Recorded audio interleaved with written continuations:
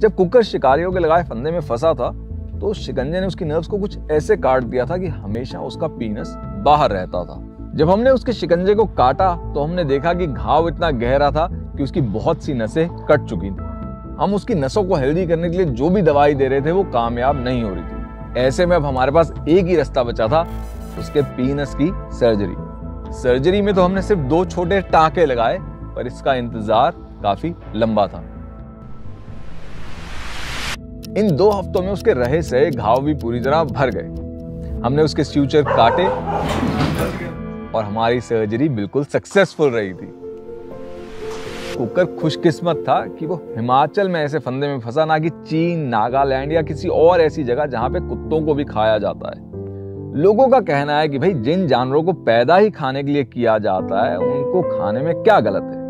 और इसीलिए कहीं कुत्ते उबल रहे हैं और कहीं मुर्गे भुन रहे हैं।